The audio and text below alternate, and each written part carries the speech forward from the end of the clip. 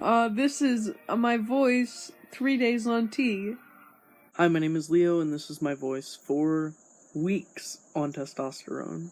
My name is Leo, and this is my voice two months on testosterone. Hi, my name is Leo, and this is my voice five and a half months on T. Hi, my name is Leo, and this is my voice six months on T. Hi, my name is Leo Lavender, and this is my voice 10 months on T. Look, it's Bubba.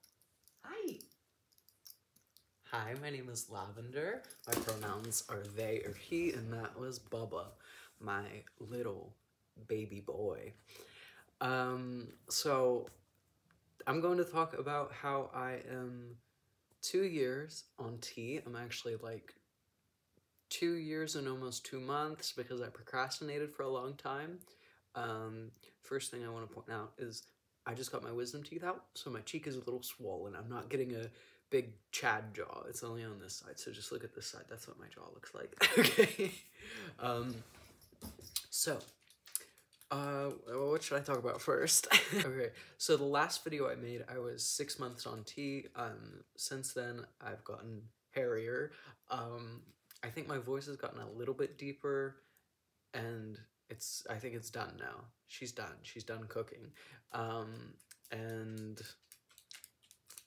I mean that's about it. Also, I got a new haircut and it's like it's like a low undercut. That's what I'm calling it. It's cute. I've been wanting that haircut for a while. Um, I guess that's a change. My hairline has been people say that I'm not balding and it's not receding or whatever. It's just getting more male shape or whatever, whatever. Um, I did have like an entire crisis about my gender um, because of my hairline. Uh, because as you can tell, I'm a femboy and like a bottom that's balding. Like we, it's it's fine. Okay. Um, but it is like noticeably different. Like this is kind of if this part hasn't receded, my hair was straight across. I talked about that last time. I think it's gone back even more up here than in my last video. Um, it's something that I um, deliberately ignore.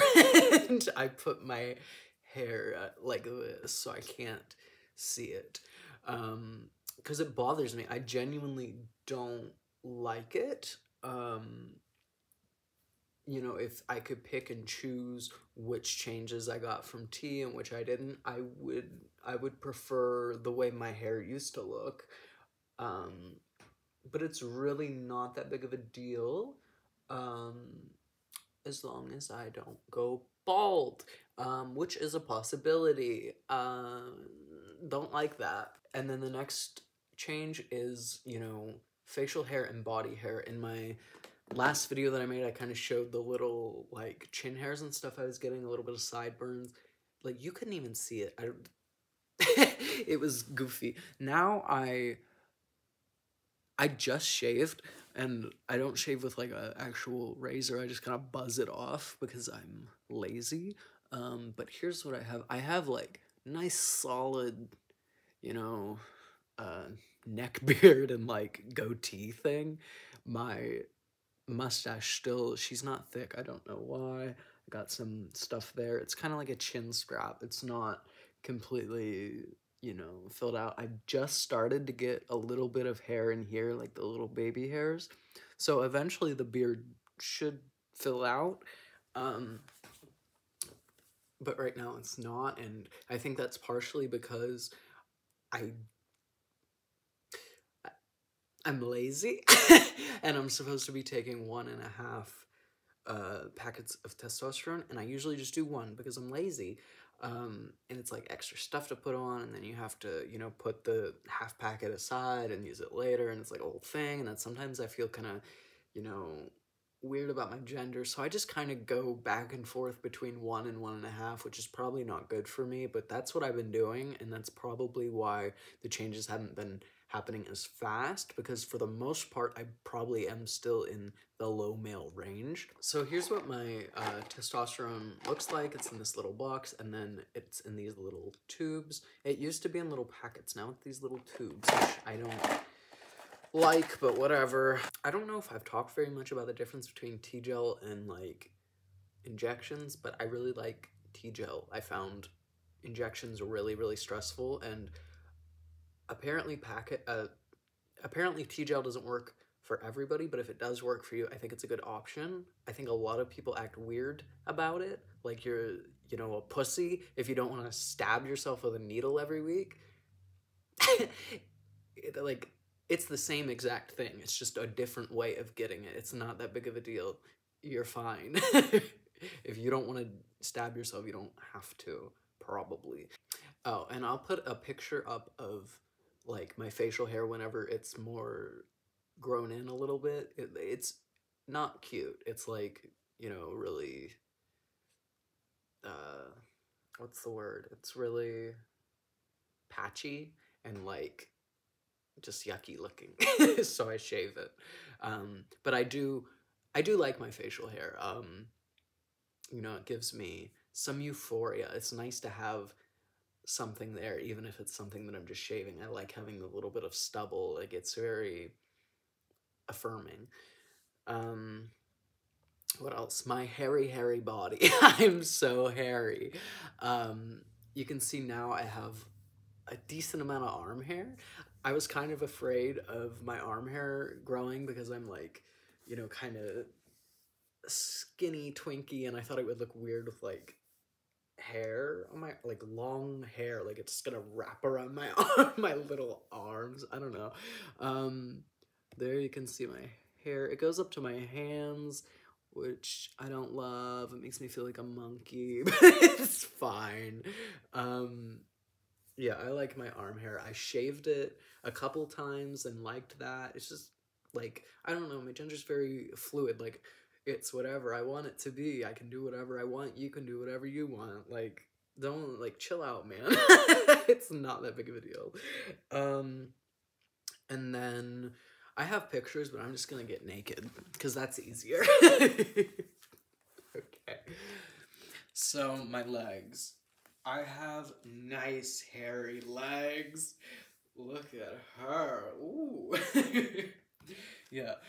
Um and then I have pictures too of like my before T and like on T, blah blah blah, whatever. Um, my weight redistribution. Um, I think this is about as good as it's gonna get.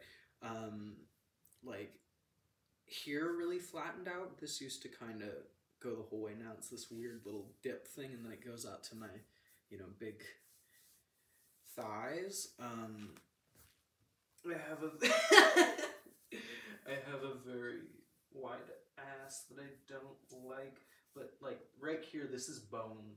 This is bone. It's not really going to go anywhere. Um, I don't think it's going to change that much.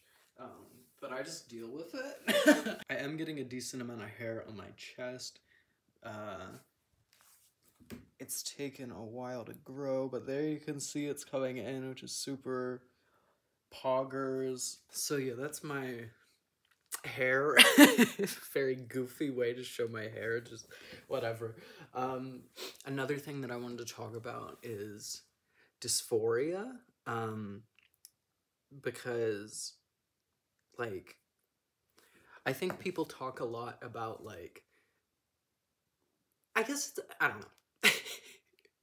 People talk a lot about how T can make you more dysphoric about other things like you know maybe your chest or like whenever you get top surgery it can make you more dysphoric about your wiener. Um um but i've kind of found like the opposite is the case. Like obviously being on T like having different features that i want is going to make me less dysphoric but also things that don't change like my like my hips and like kind of ass my ass it's just my ass shape my weird like my ass is shaped like this.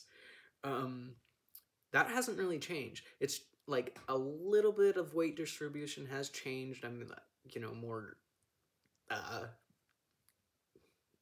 rectangular. That's not what people say. I'm less curvy. Um, but my ass is still like that. My hips are still pretty wide. It's still like noticeably whatever.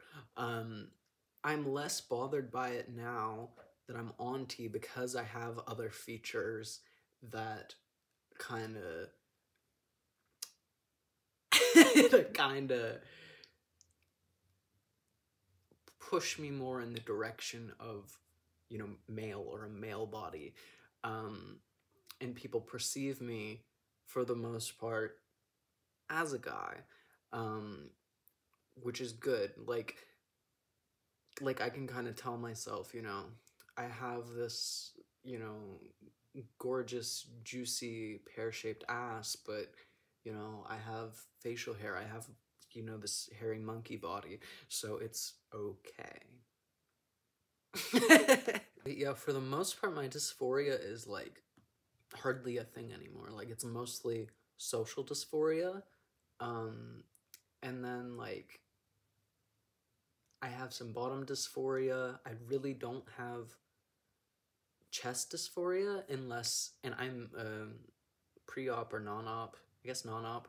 I'm kind of on the fence still about whether or not I want top surgery. That's like a whole other thing. Um, but like I don't bind. I haven't binded. I haven't bound. I haven't bound my chest. I haven't binded for like probably since I've been on T for like, you know, two years. So I have a small chest, so that's part of it. Like, this is a very kind of revealing, you know, thin, tight shirt. Usually I would wear something bigger and you can barely see my chest. I don't bind anywhere and people don't even notice, um, which is cool. Um, but like, even without a shirt, like, I, you know, like, I visibly have booba. I visibly have booba. Um, but it doesn't bother me. I actually like my chest for the most part. Like it's very androgynous and cute. Like I like, you know, little hairy tits. little hairy tits on a girl boy. We love that look. Um, the only thing is, the only thing that bothers me with it is you know, if I am wearing something more revealing and I'm in public or around other people and I feel like they can see it and they're like thinking, you know, I don't know. It's mostly social dysphoria, but it's also kind of body dysphoria because it's, you know, I don't know how to explain it. Um, like it doesn't bother me, but it bothers me that other people are going to see that and perceive it as female yeah, I'm okay with my chest. I'm st- I still don't know whether or not I want to get top surgery. It used to be something that I like absolutely wanted as soon as possible. Like I definitely wanted it and I don't think that if I got it it would be something that I regretted. Um the only time I ever think about top surgery is like it would be easier to like wear whatever type of shirt I want or like you know, people wouldn't look at me weird and like I could you know, be shirtless and like, you know, play outside or go swimming or whatever. Um, and especially with like swimwear, that's a fancy word. Especially with like swimwear and stuff, it's like I don't like the way that I look. Um, because I have kind of big hips, and then the most comfortable type of shirt that I can wear is like some sort of tank top, which is tight, which like really accentuates my massive breasts and voluptuous hips, um, which isn't ideal.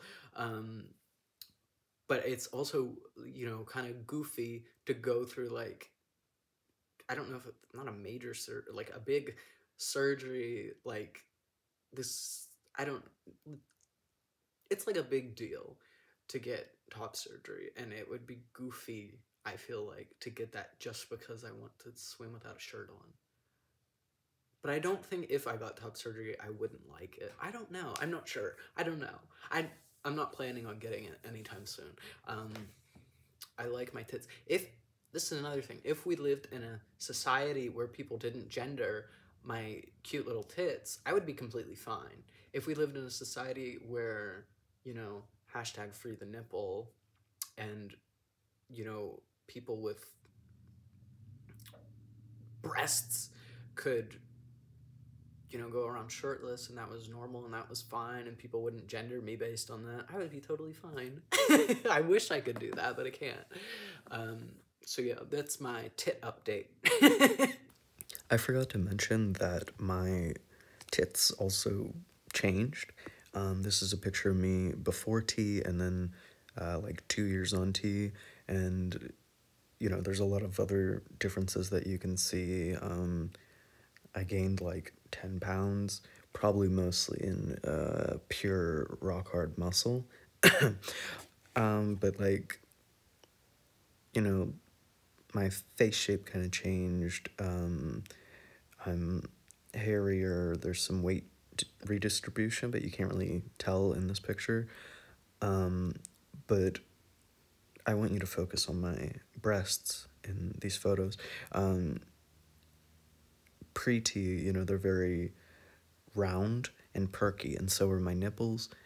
Uh, on T, they're kind of deflated and like flat and ovally. My nipples are sort of a sad little oval shape, um, which is poggers. Uh, howdy, partners. Uh, the rest of this here video is gonna contain uh, a content warning for uh, genitals and gay sex. So if that's uh, uncomfortable for you or dysphoria inducing, you might want to mosey on out of this here video. But thanks for watching. Yeehaw! so one of the big changes um, that i've had so far is uh, like vaginal atrophy and dryness um, i am a bottom and I, you know, use my front hole for gay sex. So it's has been a very negative experience. Let me describe my vagina. By vagina, I mean the, you know, the sort of the hole, the tube, the inside part. Um, she is a delicate little flower. Like it's I feel like it's paper mache. That's disgusting. It's like it just feels so like everything hurts. Nothing feels good. It's super dry. It's super like tight and like which is, you know, that's a cute, that's cute, sexy. It's cute and sexy, isn't it? It's cute, that's tight. It just hurts. It's just bad. It's like, you know, you stick something up there and it's like, you shouldn't be putting stuff in there, bud. Okay, I'm finishing this video outside because my uh, grandma just got home and I don't want to be talking about my poo-tang while she's in there.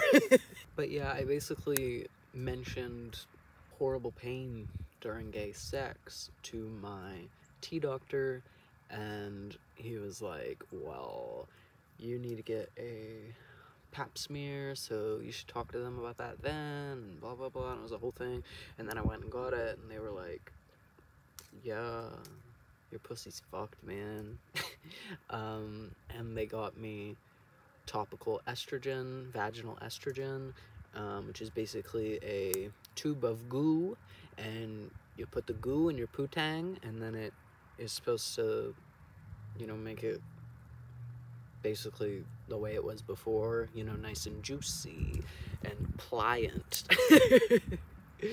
um, so I had to do that every day for two weeks, I think, and then uh, two times a week after that. Um, and at first it was kind of uncomfortable just because, you know, I don't know, it's complicated because I want to be able to have hot gay sex, um, but at the same time I kind of liked, you know, not being so uh, juicy all the time. You know, that kind of makes me dysphoric to have a bunch of goo coming out of my hoo ha all the time. Um, and I kind of did that for a while. Um, and then now I think I haven't been taking it as consistently as I should. So it's probably back to the way it was. I haven't been really shoving stuff up there lately because I'm like over it. And I'm mad and I hate gay sex uh, because I had a bad experience with a guy on Grindr. Hey, I got another trigger warning for you. I'm going to be talking about hysterectomy, uh, abortion and abortion laws, and I even mentioned sexual assault. So if it's something you're uncomfortable with, get out of here. The other thing is that I am getting a hysterectomy, which is pretty poggers.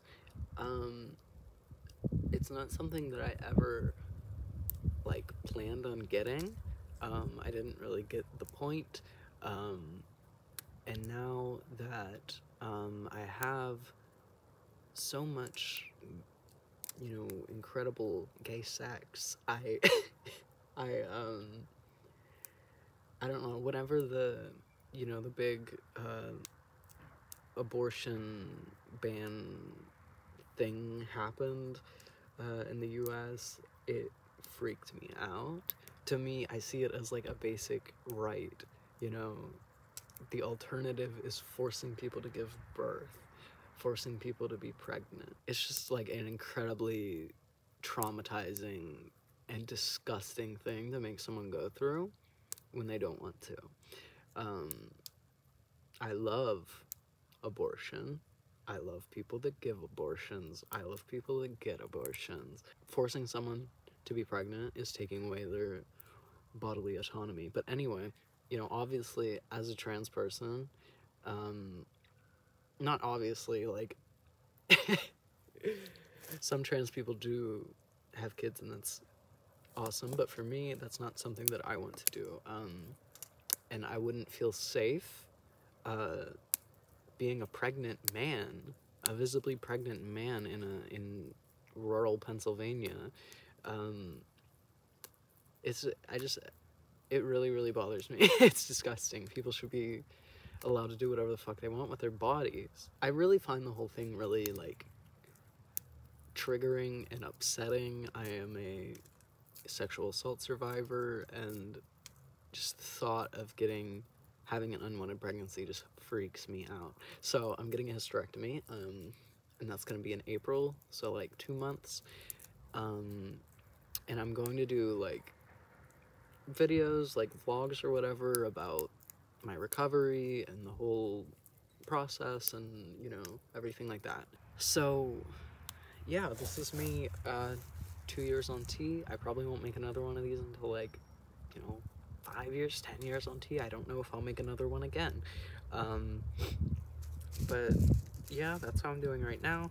Um, I am still uh, uh, incredibly grateful and like I could just fucking cry my eyes out because I'm so happy and testosterone has been like an absolute lifesaver, life changer. Like, just everything's better.